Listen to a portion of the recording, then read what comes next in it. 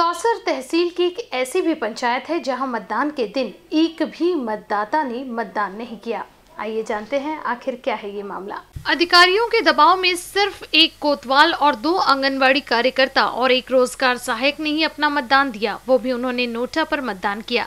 इससे साफ़ तौर पर ग्रामीणों का पंचायत चुनाव का बहिष्कार देखने को मिले। वहीं पूरे मामले में ग्रामीणों से चर्चा की गई तो उन्होंने बताया कि विगत कई वर्षों से एक ही परिवार से सरपंच पद का उम्मीदवार बना रहा है, जबकि पंचायत में उनके पात्र चार घर हैं। जबकि सत्तानवे प्रतिशत पिछड़ा वर्ग एवं तीन प्रतिशत अन्य वर्ग के लोग निवास करते हैं। जानकारी में बता दें कि विगत पाँच माह से पंचायत चुनाव प्रक्रिया के दौरान ग्रामीणों ने इसका विरोध कर चुनाव बहिष्कार किया था।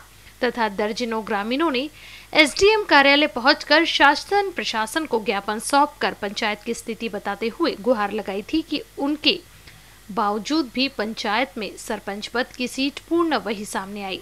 इसको लेकर ग्रामीणों ने एकजुट होकर वर्तमान पंचायत चुनाव का बहिष्कार करते हुए मतदान नहीं किया।